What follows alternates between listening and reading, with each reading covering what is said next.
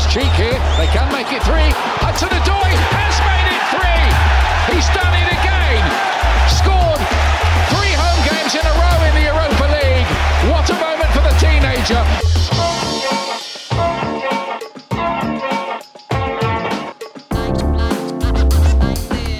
Right, ladies and gentlemen, welcome back to Yannick on Chelsea Season 2. I'm so pleased to be back, and I'm very pleased to have NiiNii on board with me from Blue Lions TV.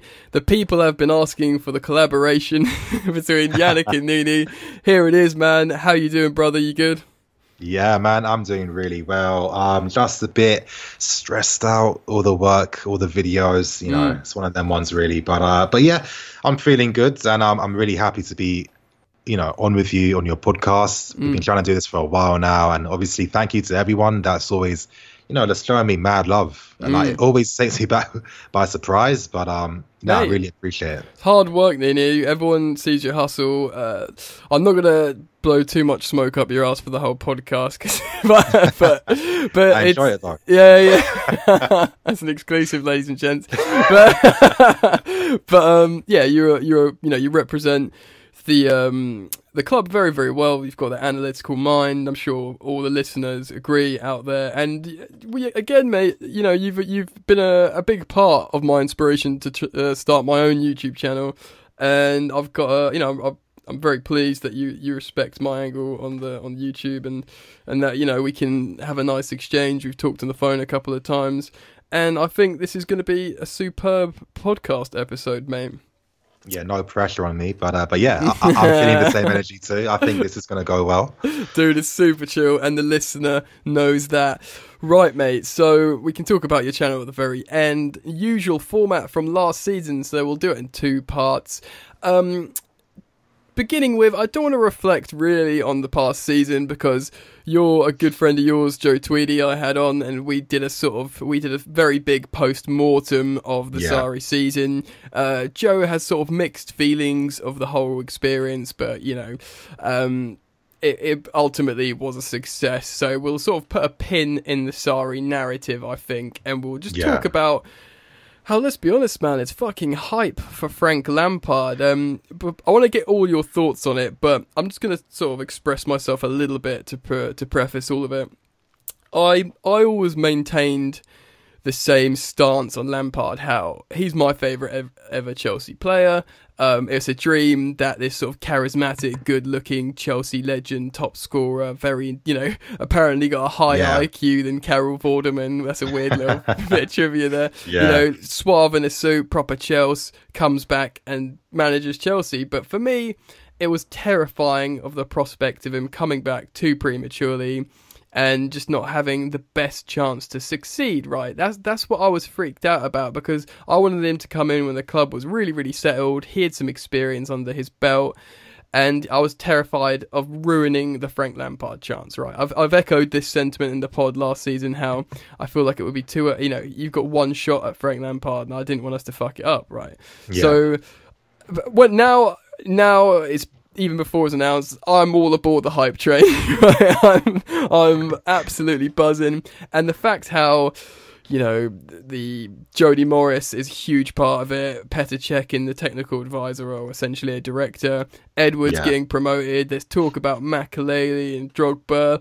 You know, you can't not be on the hype train. So take some time, NiiNii. How do you feel about it, Lampard? Do you think it's a good time, bad time? And how do you feel about the whole backroom staff situation? Um, I feel extremely happy, and um, I can actually talk about a little story. I- I've been an advocate for this club promoting a coach from within to manage the club, or someone that has the experience to obviously uh, that you know the experience where they understand how the club works, the expectations of the club, and and obviously how to fulfill them. And um, I remember a few years ago when when uh, CFC Fan TV used to be Chelsea Fan Channel back Yes. in the day, Yeah. and uh, I remember that uh, I did a fan cam, and I spoke about how, you know, it was when Mourinho left. You know, what can we do for the future? I was like, you know, why don't we turn to one of the coaches from within and promote them, similar to how you know Real Madrid and Barcelona have done it with Zidane and Pep. And of course, typical of Chelsea fan channel, they were very like, uh, like very PR safe or whatever. Sure, sure. They they always select what goes online and what doesn't. So uh, you know they were like that from the start. Mm. Right. But um, but yeah, I, I brought that up to just say you know I've been an advocate for this direction from the club for many years now, Mm. and I want to let you guys know that it, it feels like ridiculously surreal Mm. that this is now becoming a reality. We've spoken so many times about you know opportunities for young players, the inefficiency within the club, why we don't have the uh, infrastructure in place to start promoting, you know, these amazing top quality, top class academy graduates. But um, that's finally happening now. The man we've always needed. And I, I don't see any negatives. I really don't see any negatives whatsoever. This whole thing about experience too is is, is nothing in my Yeah. personal opinion as well. Yeah. I mean, what does that really mean? Uh, it's just like un- un- until you win something, no one rate- rates you. I mean, that's how it works. So, Mm. Yeah, uh, sorry, can tell you Lampard's that. at a club right now where he's got top players, a lot of players that suit his style of football, Mm. players that have a very high ceiling as well, and they can become anything they want Mm. with hard work, determination, and you know, quality football as well. So, I think for fans right now, we're really in a win-win situation. Mm. It's kind of like also with Frank's not a, a dumbass, and he's he's. If you look at like some factors of how he's going to approach it, and we'll, we'll- you know we've got a whole podcast to get into this, but he does seem like he wants to play the right way. He's young enough to know how football's going and the state of it's in. He's pragmatic enough to not be stubborn. He's humble enough to not have the managerial ego. He's you know.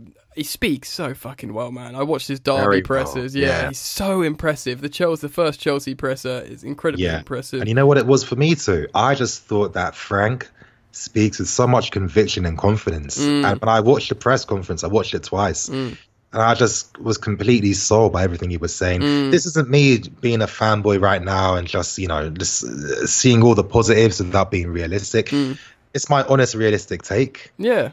Well, guy dude, it's, it's like ready the, for this. yeah, the the neutrals, the journos, people that work in media, they're sort of measured individuals that don't have an agenda. Everyone will praise Lampard of how he delivers, and and and on that press conference, he had the perfect balance of the elated boy who's come home. He didn't. He wasn't too sterile. He gave the little cracks, the smiles, and he was like, you know, obviously I'm delighted. But he also went straight back to killer.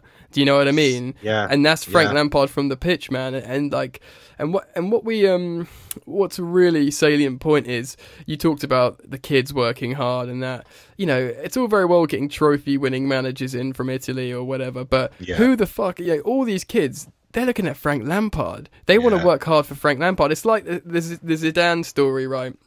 And this isn't a young kid. This is a different example. And I might have said it on the pod before, but when Rafa Benitez coached uh, Real Madrid, he tried to tell Cristiano Ronaldo how to take free kicks, and he basically just told him to do one.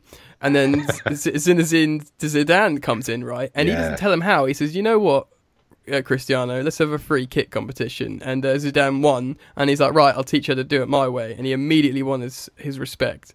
So that's like kind of a cool little humbling story, and you can imagine Yeah. a lot a lot of that happening with um with Frank, you know, and he and he's he's like he said in that press conference, he's worked he's worked that's that's that's the one positive well there's obviously loads of positives of Chelsea Chelsea's model of managers purely because we're the most successful English team this century. But the revolving doors of top tier managers, Frank was soaking it up, man. You know, he wasn't just um, under one pragmatic coach that managed to grind out results for 15 years. He he tasted all of it. So that surely that's got to be in his head, right? I I really believe that to be the case as well. Um, of course, he's had a very rich history working under so many different systems and tactics, as you said. And I think that through all of that, that's what's really shaped his own ideas on the game and how he believes the game should be played. And, you know, I've been saying for a while, if you guys want to get a little bit of context in regards to how he might be for this season, you need to look at the academy uh, last season when Lampard was the manager alongside, you know, alongside Morris. And, um, you know, Lampard has the perfect conditions now to mm. translate that stuff to the mm. academy. And I know that a lot of people are going to be talking about Derby and trying to look at the tactics and his style from from his time at Derby, but um, you're not going to get the the full take. And and mm. I say this because when he went to Derby, him and Morris decided that they had to adapt to the strengths of the players. They had to you know, maybe um, dumb down sounds a bit rude, Mm. but uh, it's just very easy to just get across what I'm trying to say right Yeah, now. yeah. So yeah, yeah, they they dumb down the tactics a bit at Derby for the players to understand it. He won't be doing that when he comes here. No. we've got much better players Yeah. when it comes to that. So um, the positives just keep. I'm Yeah. just thinking positives every few seconds now. Yeah, absolutely, and and and with I think it can't be understated of how important Jody Morris is in all of this, and not because he knows the youth backwards and he coached them to match the record of the Busby Babes and won a quadruple trophy winning season because that's all great. And Edwards and, and Edwards promotion as well because they're really good coaches. And Lampard is a good coach and he's going to get better but Lampard seems to be like Zidane um, an amazing man manager. And for me that is the most ev- evident or big biggest piece of evidence of that is certain games in his campaign with Derby the cup mm-hmm. games you know I, Yeah. I was at the game when Frank came to, to church at Stamford Bridge of Derby like they shouldn't really have lost that game he's Of course already not. They they outplayed us. They No, no, no, outplayed- and outplayed is a bit strong, but they were the better team. Oh, absolutely. You know, we were relying on own goals and you know a winner that probably shouldn't have stood, and, Yeah. and you know, and, and honestly, man, the minute I saw that game, I knew straight away yeah, Lampard is ready because Yeah, when you can't come, he can't manage a derby team to play football in that style of manner, mm, to take the game uh, on, onto us as well, mm, and and obviously, uh, you know, just becoming the better team as well. You know, Mm. that proved immediately that Lampard is the right guy. I mean, you consider that, you know, for this season, we may be underdogs in some of the games against you know our closer rivals mm, when you know that okay, Lampard's shown with Derby uh, last season that whenever his team are the underdogs, he always has them competing, mm. and most times they've really profited from from games like that by winning. yeah. Well, Old Trafford. That's Ex- oh, Old Trafford. I mean, that game against United, Yeah. against us as well. I mean, Mm. um, the game against Leeds. Oh, I think the game against Leeds was really that was peak Frank Lampard for me mm, because, mm. of course, yeah, the story was that a coming um, of age is moment, wasn't it, for a manager? Yeah, exactly. That's a great way of saying it. Yeah. And f- for me, it was like you know, against uh, Leeds, there was so much history between Derby and them. I mean, Yeah. you know, Bielsa. Oh, uh, oozes obviously- Chelsea, doesn't it? It oozes Chelsea narrative. Of course, of Yeah. course, and it's just like they they lost the Leeds the first few times throughout the season. You know, very close as well. Yeah. That game in the playoffs where Leeds were the favourites, Mm. Lampard came with a different game plan, a diamond with two up front, Mm. and He changed it, but he just- changed it, yeah. didn't he? Yeah. He did, and it Mm. just worked so perfectly and beautifully. Mm. And that was the main reason why they won. And it and it's because obviously, um, you know, Leeds like to play through the middle. Mm. So he's like, we're going to make it hard for you. Mm. We're going to congest that area. They have their their fullbacks from Leeds. They like to make infield runs to help create overloads. Yeah. Twice, their right back, I forgot what his name's called. Twice he did that, got dispossessed, and Derby scored from two counter attacks from winning the ball back from him. Mm. And this is a manager and obviously an assistant manager, Morris too, Mm. who understands what you need to do to win games. Modern football pragmatism. Exactly. Yeah. Yet wanting to go with the original initiative of being direct and attack. It's kind of, it sounds, you know, it does sound all too good to be true, and I, I can't help but getting super hyped. But what you've just kind of said there, NiiNii, has reiterated the point of sort of the, the team, Morris maybe getting in his ear, maybe Edwards, whoever the other, you know, is in the coaching staff on the bench. They consult each other, they believe in each other. Uh, by, all accounts, Frank's a very, very good coach, but the man management skills for him to. I know he made that change that got the goal just before half time, but you, you'd back him in the changing room, you know, as much Yeah. or nearly as much as a sort of JT, but maybe because of his tactical nous as a manager, more than JT to say the right things to the team, and he keeps them in it. And this is why.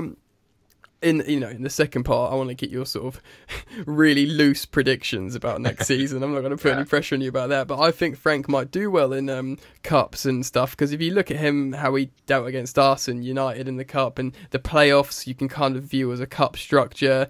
Um, You know, when he's got the Chelsea quality, there's nothing. I mean, I'm not saying going to win the fucking Champions League, but you know, why not a a domestic cup or something? But we, we, we can we can talk about that in the second part. Yeah. So let's talk a little bit while we're kind of on this band back together vibe. Um, I want to get your thoughts on Cech in just a second, but other than what we know um, with Edwards, Morris, Cech, do you think there's anything else in the the Drogba Makelele rumours?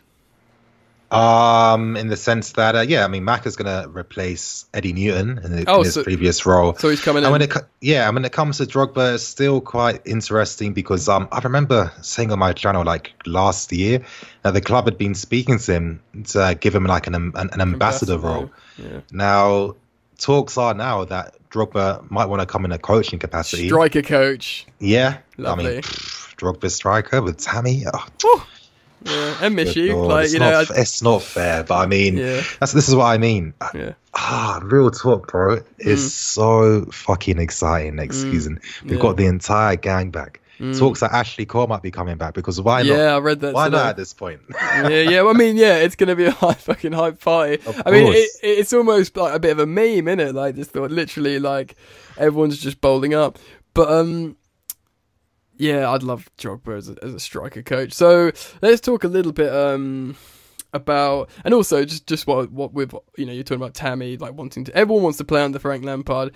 yeah. I reckon the club, people give the club and the board so much shit, but I reckon they're super smart. I reckon they know Sarri probably wasn't going to work for a few reasons, even though he performed well and a lot of points could say he could continue and it would work. But I think, right, my theory is they've known how important Eden Hazard's been for us the last seven years, and they know how difficult it can be with us in the transfer ban losing him. So they created a really good PR exit, a really good relationship with Hazard that he's really happy the way it's left. He's playing for the um, the foundation in Greece on his holiday for Chelsea. You know, no one's got any bad blood, and they're like, "Fuck, how do we keep the the feel good The factor?" going, yeah. bring Fat Frank in, get the golden generation back, get all the you know all the youth Yeah. are going to sign new contracts. Ruben's on a five year deal. It looks like Callum's going to re-sign. Mount's buzzing. Abraham's Yeah. buzzing. all signing, they're all going to commit their futures here. And it's like, you know, people have some doubts in regards to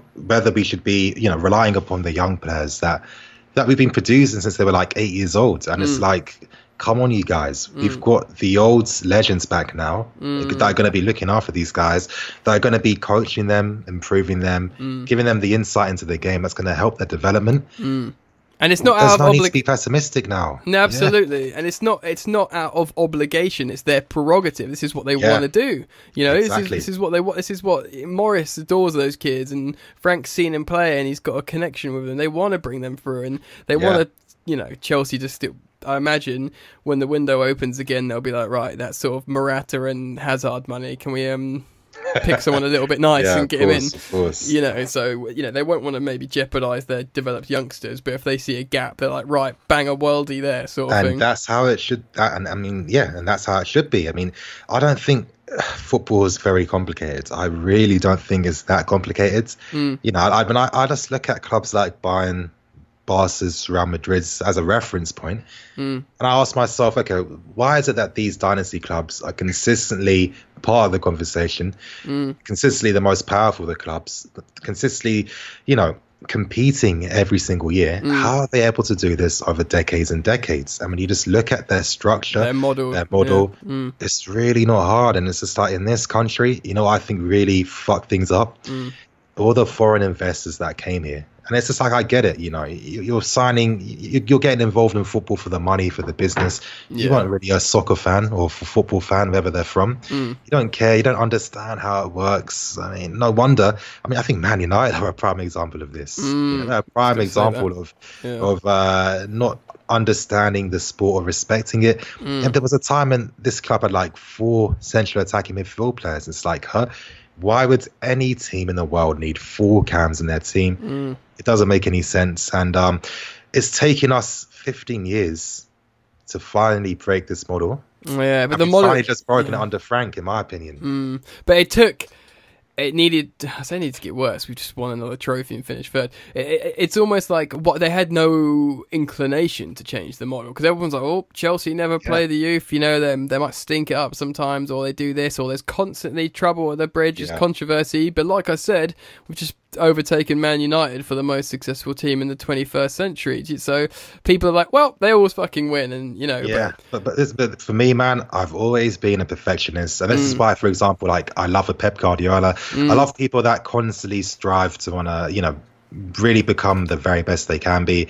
And um, for me, it's, it's just the case of um, Sorry, man. I literally lost my train of thought. Then I hate doing that. I hate doing that.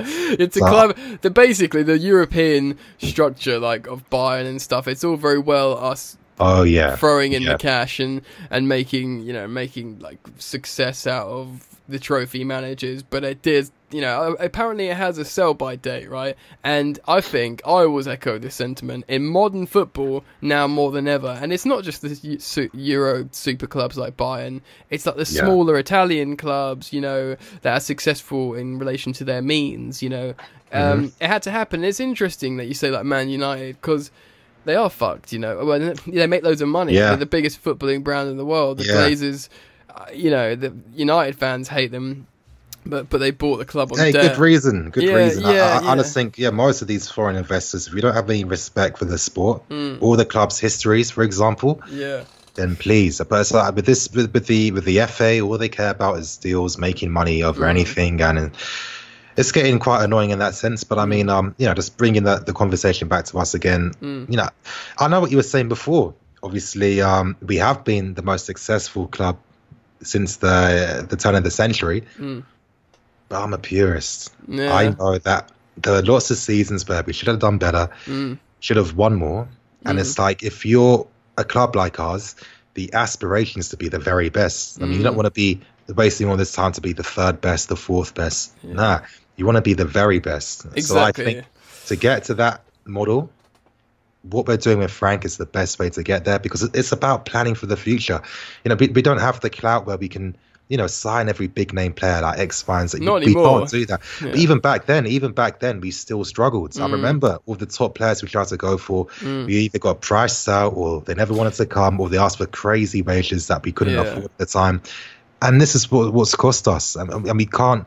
It's not sustainable to to do that. And you look at this decade in particular how many times have we been in the Europa League? Mm. How many times have we been knocked out of the group stage in the Champions League or not got past this stage? And that reflects the strength and dominance. You know, and I think that we have regressed a tiny bit. Yeah, I, well, I agree completely. And then we've sort of bub- plodded along with the odd league title, league title with like yeah. European mercenaries that are good players and stuff. But you know what? I heard.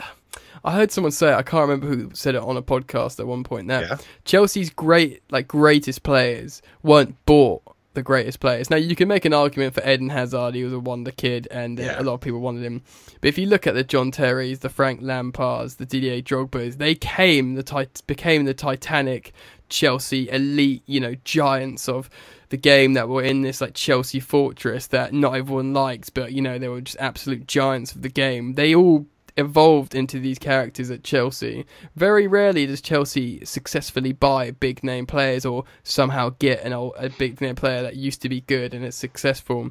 Yeah. So this model of bringing people through and letting them become you know great at Chelsea and, and knowing what it is to be Chelsea again and that kind of speaks with what you're saying about you know your sort of football purist uh, approach of you know developing from within having the culture you know kind of like um you know the Chelsea Academy coming through a bit more. That Frank did that great line about the path yeah. between the buildings, didn't he? And um, so a bit like you know how La Masia used to be at Barcelona. Sort of like Chelsea are well known to have the best academy in England. So let's make it. I'd say Europe. yeah. It, it, it is Europe, and, and yeah. when it comes to academy football, mm. it's Europe. Yeah, well there you go.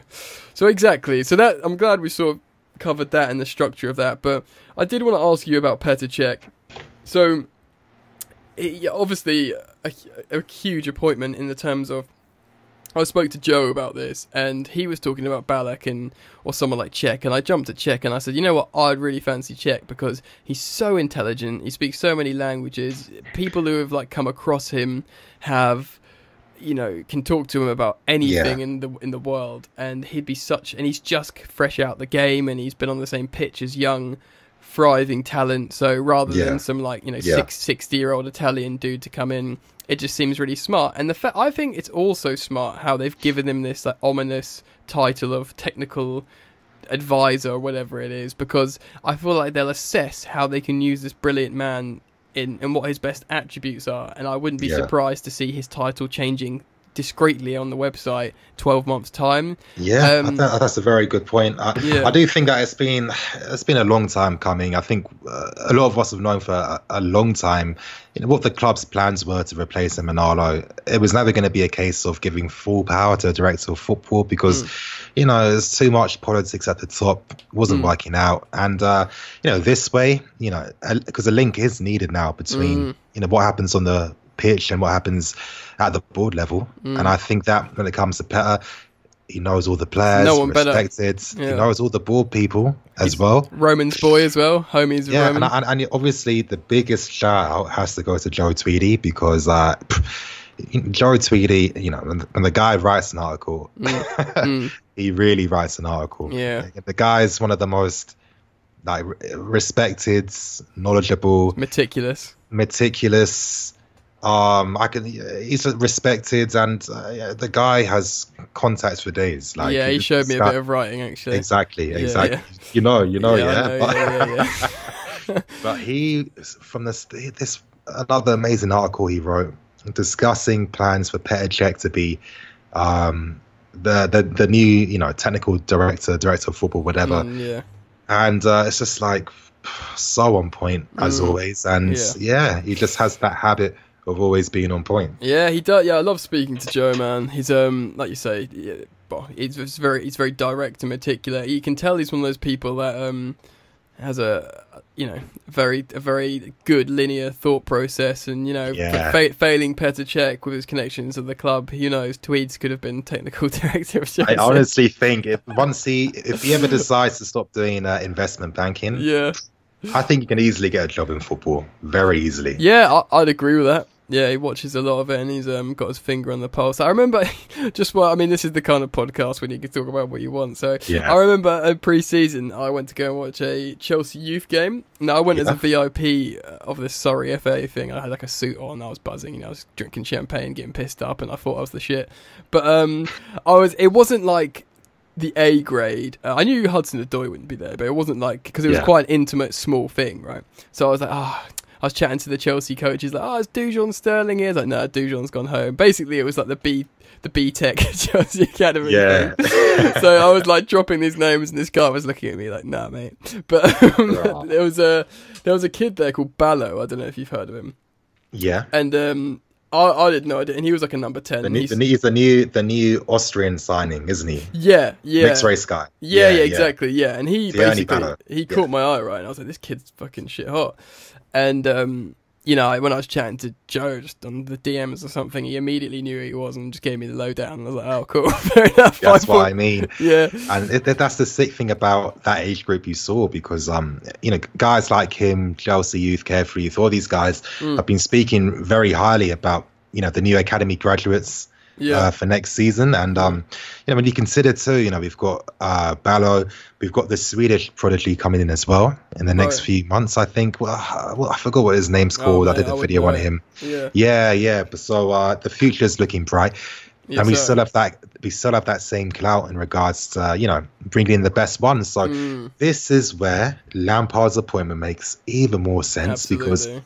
If you're one of the best 16 year old players in europe and we've had a habit of signing these guys at this Mm, club absolutely. christensen being a massive prime example Mm, if you've seen okay three years from now we want to sign this amazing spanish 16 year old I've, he's seen that guys like Hudson Odoi, Mason Mount, and others are getting opportunities. mm, exactly. Of course, he's going to tell himself, Mm, I'm going to sign for Chelsea because it's best for my career. yeah, I'm going to get the opportunity to play, yeah. and it's an amazing structure. And I think we've uh, this was the final piece we needed, man. Mm. The And- final and- piece we needed. And as much obviously, and you know, Chelsea have had a lot of bad rep when it comes to youth, and this is the turning point that we needed. But I've referenced it, and I think at one of my YouTube videos that you know, you look at these kids are going to look at that and do exactly what you said, but also they're going to look at someone like Phil Foden, who's meant to be like one of the best young English tens or wherever he plays, or you know, attacking mids in in in Europe, and you know he's doing well for the England under 21s. But Callum Hudson-Odoi is getting called up to the senior squad, making his debut, and immediately making his competitive debut. Uh huh. Do you know what I mean? And that's he Yeah. who's he held from the Chelsea academy. So, um, just to finish on part one, NiiNii, do you think um, Petr will have anything to do with transfers and stuff? Do you think he'll be like a consultant for? Do you think they'll work as a team? You- Yeah, hundred percent. Um, I think what's going to be great is the fact that they all kind of understand what needs to be done. Mm. It should be quite easy to you know decide about you know what's going to be the most uh, definitive decision. Mm. And uh, yeah, I think it's going to be a case of you know assessing areas in the squad that need improving, targeting players with the right characteristics to play in the team, and Mm. then obviously the sweet talking from. uh, You know, an ex-legend Mm. trying to get this player to sign. Mm. I mean, I, I know that uh, there's there's nothing concrete, but I, I'm sure you saw those little reports about Neres saying that he's going to stay one more season. don't don't get the And I'm listener too thinking, hyped. oh, I'm not going to get them hyped, Yeah, yeah, yeah. but I mean, one He's more sick. season. And, he, and come on, he, players are smart. When it comes to negotiating deals, there's lots of discussions. They have Mm. to assess where they're going to play, how they're going to be used, Mm. playing alongside potential new teammates, how that's going to work. Mm. There's a lot of detail Young that goes guys into this. too, like Pulisic, Yeah, so- Hudson. yeah, exactly. So Yeah. just using that logic, you're going to Mhm. think, okay, I'm Neres. What teams can't I go to? I can't go to Man City because they're full up there. I can't go to Barca. Exactly. I can't go to Juve. I can't go to United Bayern potentially, but it looks like they could be signing someone else. United, you're not going to go fucking go to United now. yeah, yeah, They're, a few years away from getting yeah, to the level they need to be at. yeah. You're Neres, you're thinking it makes sense for me to stay one more season here Mm. because there's a chance that the big blue club in London might be coming in. Oh, it's London as well, man. Do you know what I Ah, mean? It's like, ugh, it's, it, it makes too much sense It still. does. It does. I tell you. I tell you what, NiiNii. We're gonna wrap up part one, man. Um, in part two, we'll look ahead, we'll speculate, and I'll put loads of pressure on you to make predictions. All right, welcome back to Yannick on Chelsea Part 2. I'm still here with my homie NiiNii from Blue Lions TV. We've been shooting the shit about Chelsea uh, in the first part, how exciting it is to have Lamps home, what to expect from the backroom staff. But now we're gonna delve into the great unknown, NiiNii, mate. Um, okay, so I'm gonna ask you, right? Your what you think, how you think. I mean, Lampard's going to be flexible this season, but how you think generally he'll line up, uh, and then we're going to go through like positions, talk about how you think those positions will be filled with what players at the Yeah. beginning of the season, and then maybe later in the season once Frank's got his feet under the table. Um, and you know, injury dependent as well, and then we'll do like maybe just speculate on how he'll do in the season. So, okay, sweet. so I'll start by asking you, formation wise, do you think? I mean, I don't think I, I think it will be a four-three-three, switch into a four-two-three-one, but not really like a Regista style four-three-three. Wh- What do you think, mate? I don't know. I mean, I, I've spent a lot of time thinking about this because obviously, you know, you guys, I do have videos coming out, but you know, it is quite hard to, you know, constantly do videos every single day. But Yeah. um, I think there is going to be an evolution. I Mm. think it is going to be gradual. You know, Lampard is smart. He's going to assess the team. He's going to come to an understanding that, listen, I've got guys like Ruben Hudson Odoi, Reece out. They're three key players that could Yeah. really improve the team. Yeah. Yeah. So I think for now he might rely upon a system the players are quite familiar with uh, so far, Mm. and that's how uh, Sarri used them last year. Now I'm not saying that we're going to be super possession heavy like we were last season. Mm. It will be adapted a tiny bit, but I I'm expecting Jorginho to start at the base. Mm. Well, I keep, expect keep, that to happen from the start, and then when Ruben comes back, Yeah. that's when we'll really start to see some uh, shifts. some differences. Then Well, keep your powder dry on who's going to play where because I'll pick your brain on that in just a few minutes. But you you imagine a 4-3-3 because I think Frank does like to play with the ball if he can.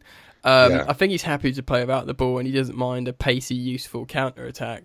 But um, I've been sort of hearing all sorts of stuff when I hear people speculate or people that watch Derby or how he apparently he's even switched to a free free back formation for a little bit. yeah, I, I'm yeah. not sure. I mean, but but this is the thing with Frank. Now, some people think that we're going to swap formations like crazy. yeah, yeah. It's not going to happen. No, it's, it's only going to happen depending on the opposition. Like, for example, with Derby last year, uh, Lampard would use maybe a 4 2 3 1. Mm. against the very big teams like us, Man United, etc., mm. etc. Et because he used that formation for a high pressing counter attacking game. Mm. That's why uh, Mason Mount was the guy who was playing cam. And so some important. people think, yeah, yeah, of course, you know, pressing in modern day football is important. I mean, you look at someone like a Mason Mount, for example, to be that young, to have that work ethic application and the quality. I mean, for me, he's like another version of like a Kevin De Bruyne. You know, that's saying like, stylistically, you know mm. what I mm. mean.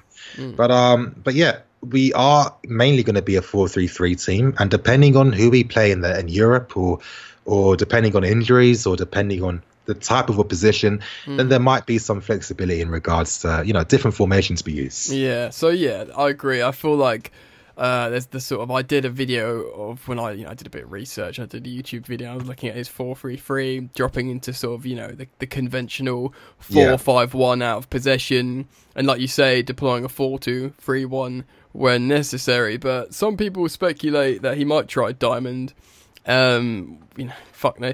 Whether it will be like a two striker diamond or it'll be like a, a striker and, and, a support. It's a beautiful thing, man. It could be what if it's purely up front with, with Tammy, or what if it's Tammy and yeah. and this up front. I mean, the, the, possibilities are real, you know. Yeah, but then also like you could have like yeah, like Pulisic.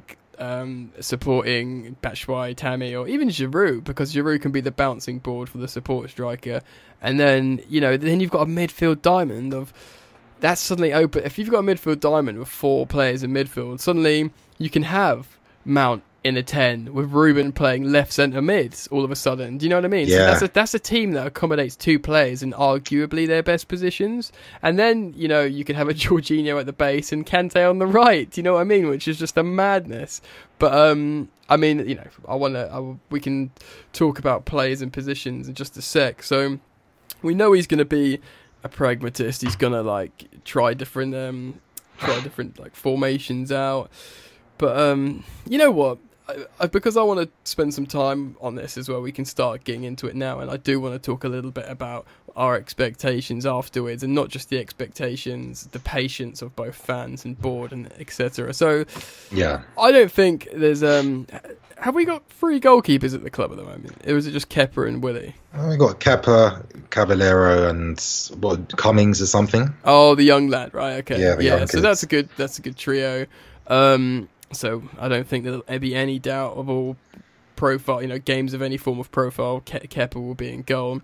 Yeah. Um, let's start on fullbacks, NiiNii. Um, so it's a conventional left back position. Now, the interesting thing about Frank Lampard is he's giving everyone a look in. Like, if you've seen these preseason, you know, uh, pictures or videos, footage. It is like throwbacks coming in. You got like you know you got fucking yeah. Lewis Baker. You've got Kasey Palmer. You've got um.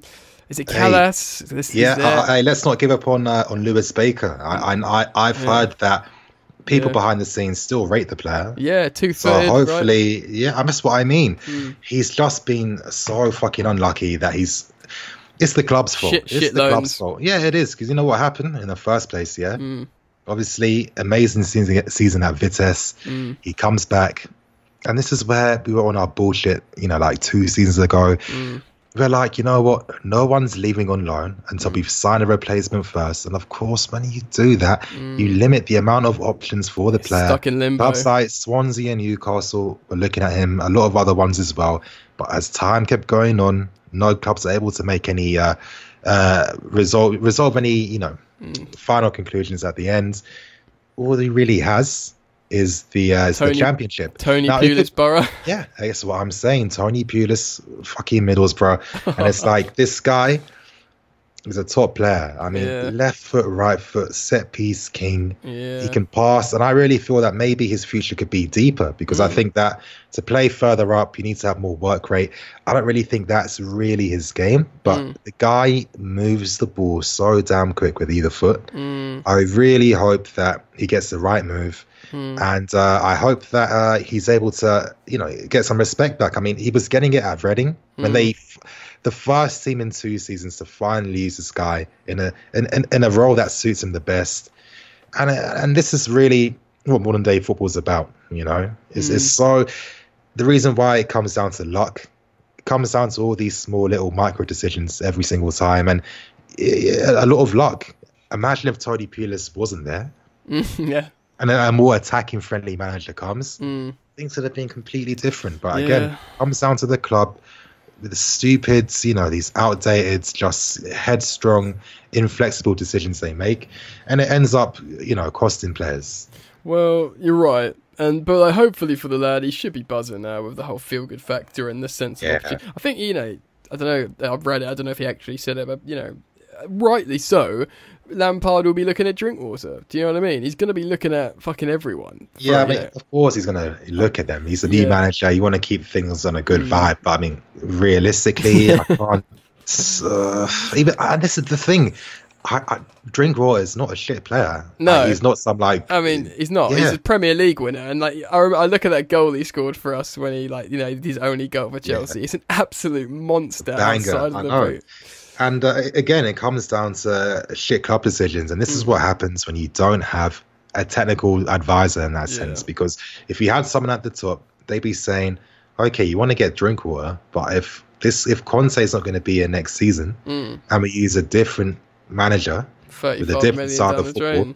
are we really going to be able to use Drinkwater in his best position? I mean, come on, Mm, like and uh, yeah, to be honest as well, like to caveat that, I did actually have a little deep dive and uh, Drinkwater's stats when he was, you know, playing for that's the Leicester. It wasn't, they're, Yeah. not, they're not that great, to be honest. I thought like I had this like romance in my head of Kante, amazing Kante wins the ball, gives it to Drinkwater, he gets rid of it, and they've got this amazing duality and everything's cool. But you know, to be honest, was, his numbers weren't even that great. So, so yeah, I, I know what you mean, but I, I, I think you know when it comes to just like looking at midfield players in particular, I really think like a lot of modern day fans are really struggling when they like you know they'll look at stats and they'll look at a midfield player, and it's like you have to have a you have to understand the context of the game. You know, in midfield, it's the most important position. well, really. Kovacic has been done dirty by Exactly, but I mean the stats really do him justice. Mm, And it's like for me, I always saw those performances with my own eyes, mm, but because he wasn't, he didn't have a goal threat in him. mm. He's just automatically dismissed by Oh, like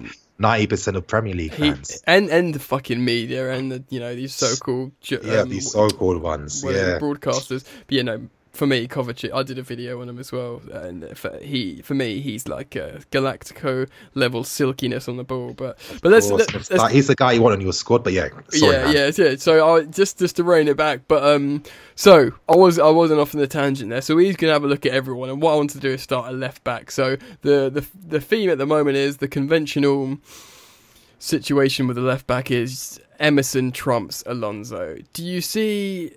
Anything different happening there? Do you see him giving? Because Alonso had a couple of good games. I don't want to do him too dirty, but for, for me, I've said this.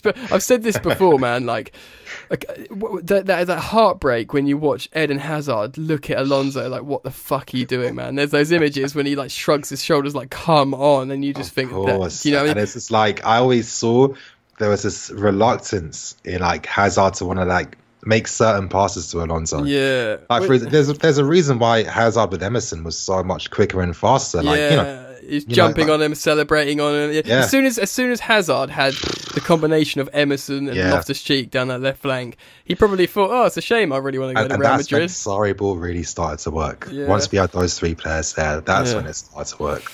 Well, on that, and for me as well, Marcos Alonso, right? Like he has scored some big. For me, he's literally like a centre forward that somehow is playing left back. You know, like the way he like he can head the ball, he can sniff out a goal in the box poacher. He's got a sweet left foot volley. He's a dead ball specialist, um, and he's just you know he's like a decent striker, but not one that you generally want as a striker for other reasons. That's for some reason fucking playing left back. Um, Anyway, uh, Emerson El- over Alonso for you. Is there, does Alonso get a sniff under Lampard? Um, listen, Alonso's had what two and a bit seasons now to really get a lot more respect put in his name, and he hasn't done it. Now, of course, it could come down to the the system. You know, when you use a high line, Yeah. a lot more is uh, obviously a lot more physicality is needed, pace, etc., etc. Hey, Alonso doesn't have that. That's not his game. Um. Nah, I mean, nah. I'm, I'm sorry. Alonso just doesn't complement anything. He doesn't. Yeah. Well, we could flip him and make a profit now. No I'd like to think so, but when you're hearing that with price tag at Atletico Madrid, and it's like, come on, you guys, who the hell is going to buy Marcos? How much? Well, how much did we for sign 40, him for? 50 million? I think we signed him for like uh, 20, Yeah. 20 billion or something. Okay, right. billion. Okay, so still, if you're if you're a European club and you're looking for a left wing back who's a goal threat, you know he's he's gonna be up there on the list, isn't he? Yeah, but the goal threat thing, I mean, yeah, it comes into handy every now and then. It's Hmm. sick. But I mean, you know, ideally, you know, I think fullbacks are more important in in uh, helping, uh, you know, keep possession of the yeah, play. but I'm saying like, say you're an upper mid tier Italian side and you're like, right, we're really attack heavy down the right. Um, we've got a really good left middle centre back and a back three, and the left centre, you know, is a really good. You know, I'm right. I'm writing like a niche Yeah. requirement here, but Yeah. there, there is a situation out there where he's your man. Do you know what I mean?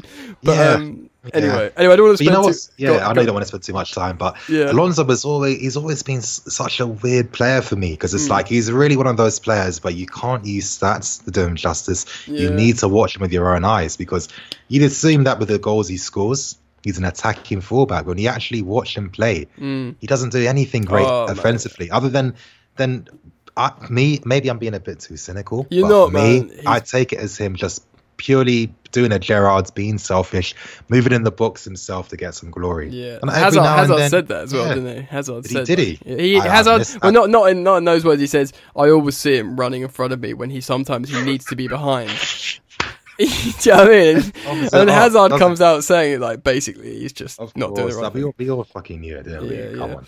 All right, so Emerson, hands down, more of a dynamic, gets up and down quicker, better engine, essentially in the mold of a modern fullback. Uh, and on that mold of modern fullback, let's switch over to the other flank. Azpi, great one-on-one defender, gives hundred percent for the club. Apparently, like the most professional player you could ask for.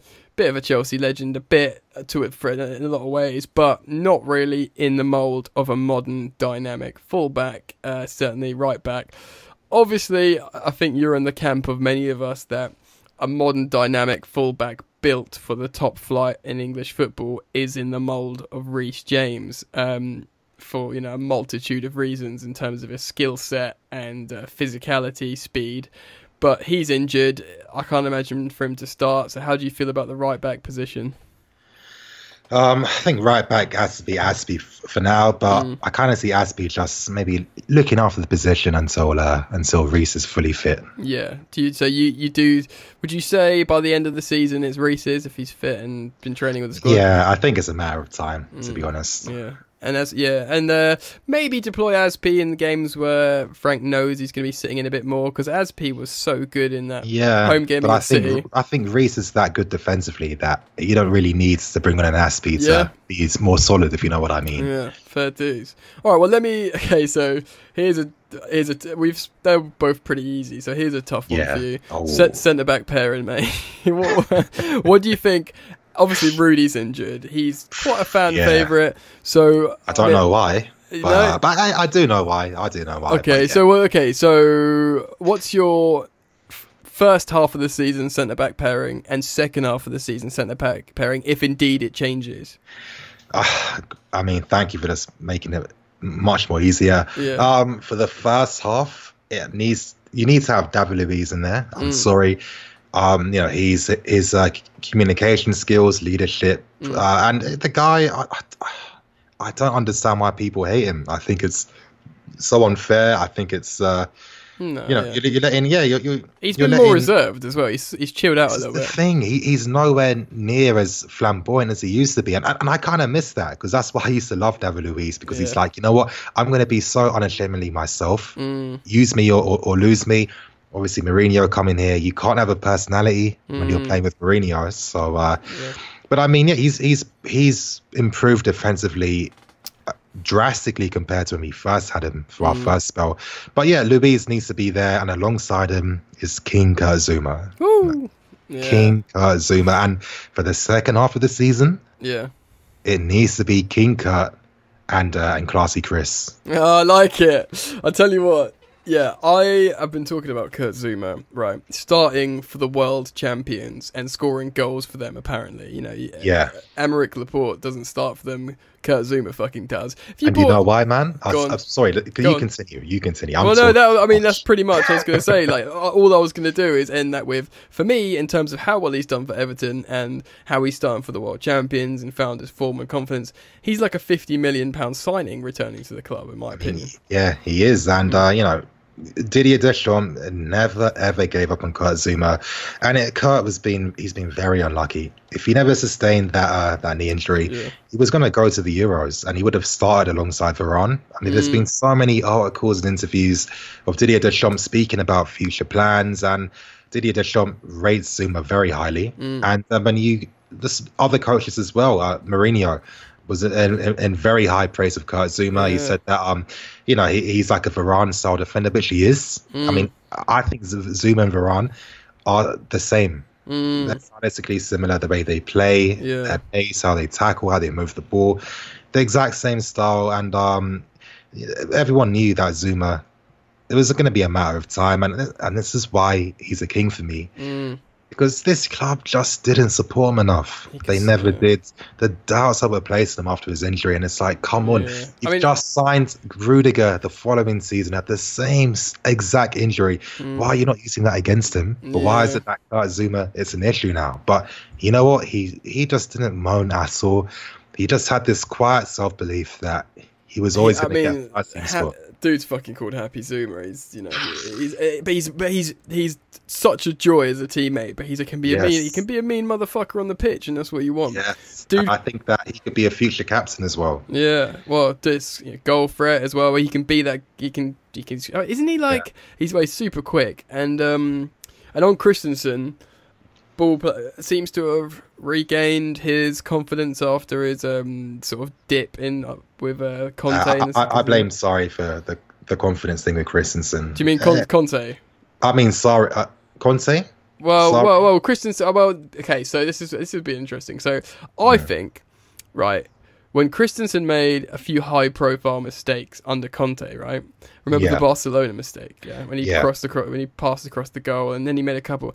I think he should have been taken out of the limelight for like a couple of games, right? But instead, Conte overcooked him until he literally had to drop him, in my opinion, um, and that that's what created a problem. But with Sarri, I feel like Sarri found a centre back pairing that he wanted, and then obviously he had to play Christensen again with the injury to Rudiger, but Christensen found good form and he he basically was a top tier player again. And, and just Yeah. on it as well, I've said this on the pod before.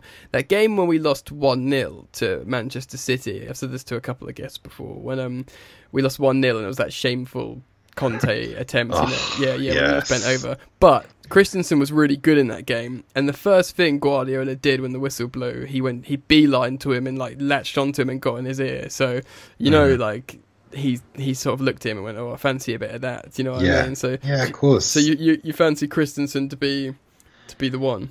Yeah, I mean, I, I- I think you know this season in particular, it's kind of like dreams coming true, and I've always envisioned seeing Christensen and Zouma partnering together. I mean, mm. every time I get FM, it's Mm. always Christensen and Zouma. It's always been like that for me every single edition. So Mm. uh, I just want to see it in real life now. Yeah, yeah, yeah. I fancy it. They've definitely got good, both young, both um, well. Zouma can have the physicality and technical ability still. Goal Yeah. threat, goal threat on set pieces. Christensen can pick up the ball, morale into midfield. He's even played in midfield before. Um, Yeah. very versatile defender and cerebral defender. So, so I'm with you of that, which can uh, lead us on to a very, very difficult question of a midfield three. And um, you know, I know you mentioned you could see Jorginho starting there. Okay, so again, same question. First six months, after the first six months, what's your midfield three? My midfield three. First six months would be Jorginho, Kante, and Mason Mount. Mm. Last six months would be Kante, Ruben, and Mason Mount. Woo! That is a naughty midfield in a second. okay, so right. Okay, so this is my I did a video on Kante today. Kante, for me, uh, he is a destroyer. So the second six months that you've just talked about, for me, has to be a fluid midfield free, where can you know where all of them are allowed to move to a degree, right? Because for for me, Kante couldn't have played in Sarri's uh, deep deep sort of anchored Yeah. role because it, a would waste him. He can't roam and destroy. and B, he didn't have the metronomic cerebral speed. He's not saying he's a bad passer, but Jorginho is a specialist in the ball touches his boot, it's already gone. Uh, press resistant, you know, release the ball. That's not Kante's particular, you know, main attribute, and also wastes everything else. So if he's going to sit in that lone mid three of a pivot, you know, his best work's always come in the two, right? Caen, Leicester, Chelsea. So if he's going to be that deep one in the three, for me, it has to be like a roaming free where he's got license, because otherwise, Yeah. You know, would you agree with that? Um, I think yeah. Because if that- he's if he's camped out, if he's camped out in front of the back four, and he's like, oh yeah, you sit in this pivot and the ball's going to go through you, I feel like that's just not Kante at all. that and that, yeah, I mean that's the reality. I mean with Kante, yeah, I mean Kante, what I love about him is the guy that he's very happy to learn. He's flexible and he's willing to, uh, you know, ad- ad- adapt basically. Mm. Um, of course, with Kante, his best trait is a ball-winning midfielder, in my opinion. You know, winning back possession quickly and Covering helping us start covering moves again. ground. that's his best position, covering ground, closing the spaces. And I think there's there's not a better like if you're going to play a counter pressing style, you want Kante further up winning the ball. Mm. Yeah. it just makes sense. Yeah, yeah, yeah, yeah. No, I agree. So, Jorginho, how how's he going to fit? Do you reckon we flog him next summer? He's going to be wanting to start. Potentially, potentially. I think Jorginho is going to be very interesting to see. I Mm. think that if you're not using a regista a system, he can still excel because Jorginho, It's when you're a player player. Mm. that moves the ball quickly, you're always going to be able to do something in the modern game. Plays He higher up for Italy. hard. He plays, yeah, it does. And I mean, look at how Italy play. You Mm. know, their midfield is now set, and they they there's a lot more fluidity Mm. with how they play now. And um, eh, I'm, I'm all for it. Mm. We're a club that wants to have ambition to be the best. You need to have a top class midfield that are going to be competing with each other to get in the first team. And um, uh, Jorginho is good for the squads. Mate, he's top for me for what he is and for his skill set. He's top One of the best, yeah. What in his skill set, yeah. And I think that um, I, I it's it's so hard because I want to see Mason and Ruben together in midfield. I think Mm. Lampard will do that too. That's what he's working towards. And I just want to go on like a tiny tangent, Go but ahead. um, you know, anytime I I think about tactics and Lampard's, you listen, Lampard was a box box midfield player, Mm. one of the greatest goal scoring ones in the history of, the game. He knows what it takes to get the best out of a midfield. He, Mm. he knows what you need to do, and I feel like uh, has just helped number eights. You know, in, in my latest video I released today, I spoke about uh, you know Lampard and Mikel back in the day. Mm. You know that season when Lampard got 27 goals, Ancelotti using Mikel in a similar way to how Jorginho has been used, and it benefits number eight so much because one, number eights normally are in free space all the time to receive the ball and start attacks, and when you've got guys like Mikel's and Jorginho's who move the ball that quickly and see the entire game, that's exactly what a number eight wants because that means he can start doing what he does more. Obviously, um, eh, they allow them to then, you know, break the lines, attack the spaces, move forwards. And there's a reason why, you know, when Ruben was introduced in the team, Jorginho looked better. And I think that he looked better to most fans mm. because now his passing was more effective because he had an effective player to pass to. Yeah. Well, that's a really salient point because I was, you know, I never was like a super. I mean, I always, I was a fan of Sarri, but I didn't defend them blindly. I always try and be measured. From being a podcast host for a year, you learn to try and be measured. I'm sure you know that with just being a like a YouTuber, you know, channel owner. So, I, but I always absolutely came from the school of thought that Jorginho needs the the passes and the spaces to be made available to him by Yeah. his number eight. So, yeah, I mean, very good player. Kovacic, very good player as well. So they would both hope to get rotated in and out. But I like your forward vision of the young number eights flanking a roaming N'Golo Kante, and uh, you know, Good it lord, sounds naughty. So, Yeah. so let's talk about the front three. First six months, second six months, and onwards. I think first six months, It's gonna be the old boys, isn't it? no, ah, I'm thinking. Okay, I'm thinking. A part of me feels that maybe Pulisic might start on the left-hand side. oh, really? That'd be quite interesting because I'm thinking with Willian now, is he as effective out wide? A lot of that's going to depend on how he performs during pre-season. Don't you fancy he'll, he'll want to go back to his native left, Willian? Yeah, no, you know, of course, you'd Mm. expect that, but Mm. Willian hasn't been the same Willian. I mean, last season, you know, I was quite disappointed in Willian. I don't know what happened. I, you know, a lot of his game just wasn't really coming off as well as it normally does, and I don't know if that's you know time or whatever. Over the bell curve, maybe. Yeah, but I think maybe there could be, in a sense, you know, it's a bit predictable. You know, I think now teams understand what he's going to do. Mm. So, uh, and he's not as quick and sharp as he used to be. So, who knows? But I, I know that's just me just trying to be like different. I, I still think maybe Pulisic on the right, Willian on the left hand side, and Mm. up front. Now, I've been thinking about this a lot.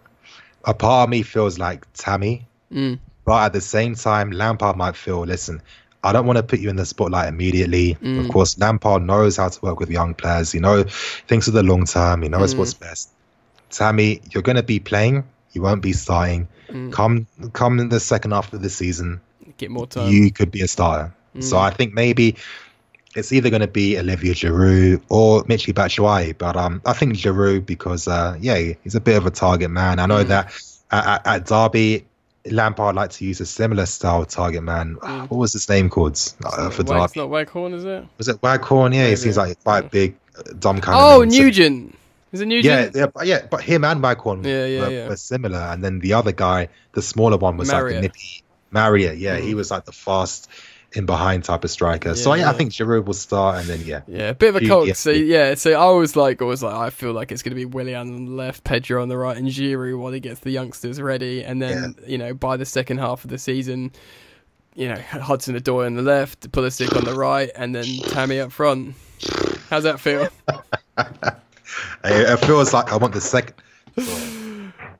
I'm getting so excited. You're I'm knocking your like, mic falling off. off my desk now. Yeah.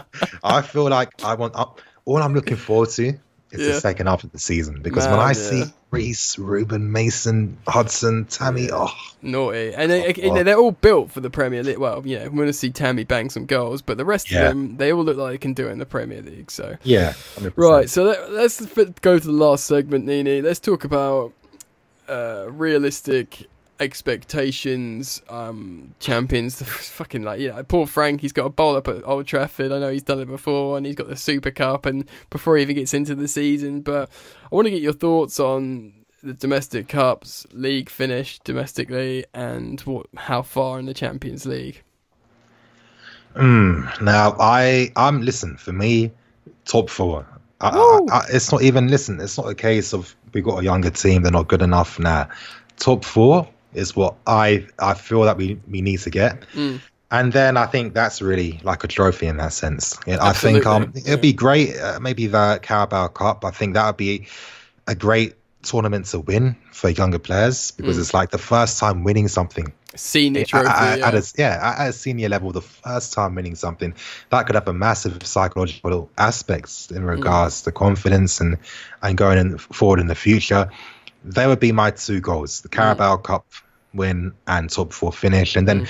listen, in Europe, do yourself proud. I don't, as long as you're not outplayed or embarrassed, do yourselves proud. yeah. And I think in other competitions, hey, it, it is what it is. Well, this is this is the thing, right? Because if there's one thing Lampard can do is jeer his team up for the cup competitions. Like again, like I said before, like you know the cup run last season, and then the the, the playoffs. Like that's sort of maybe what Sarri lacked. He'll he'll galvanize like this is it, boys. I'm Frank Lampard. You know I'm final Yeah. man. You know maybe Drogba's fucking knocking about in the changing rooms. so if you don't win, it's a fucking disgrace. yeah, Um, but yeah, um, do you know what I mean? So that kind of vibe from Lamps that that might bode well. So I think I'll be happy with top six.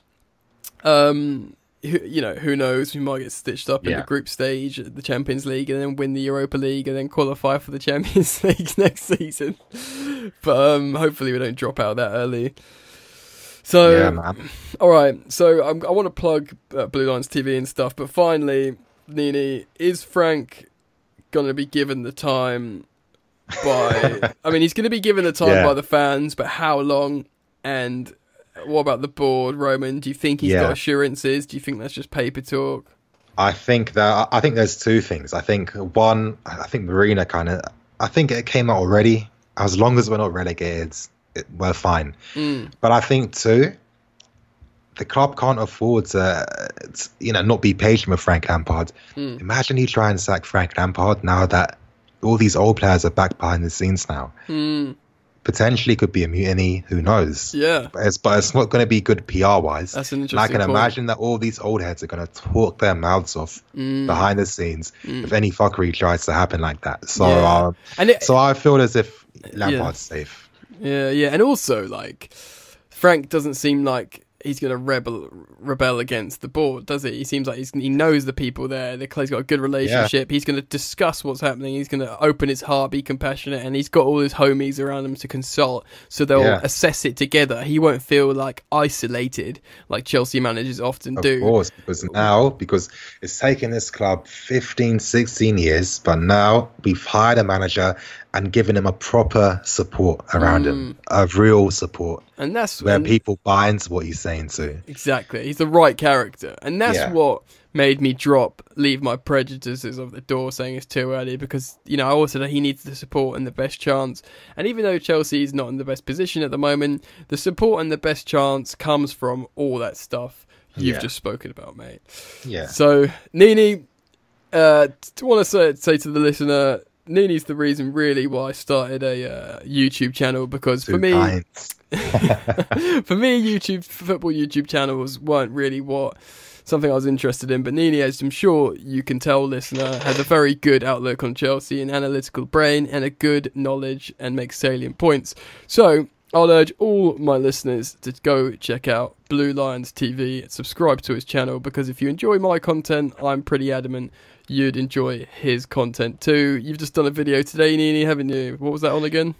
Yeah, so the video I've released today is the uh, top five players to watch out for for this preseason. Um, preseason is going to be exciting. Seven games, Yeah. so many players, so many different lineups and possibilities, and some big teams and some you know some unique teams as well. So uh, hey, it's, it's going to be fun. It's going to be buzzing. Mate, thank you so much for coming on. I hope you'll come on a couple more times throughout the season if that's Bro, cool with you. anytime you need me, There it is. That's just a let me know. verbal contract. You've heard it here, listener. Thanks again, NiiNii. Thank you so much, mate.